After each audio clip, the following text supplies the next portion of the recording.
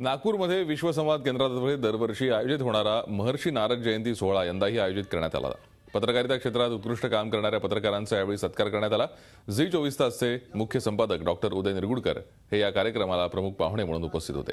आपल्या भाषणात डॉक्टर उदय निरगुडकर यांनी पत्रकारिता क्षेत्रातलं विश्वासार्हतेचं महत्त्व समजावून सांगितलं. त्याचवेळी पत्रकारांनी सत्याची कास सोडू नये असं आवाहनही केलं.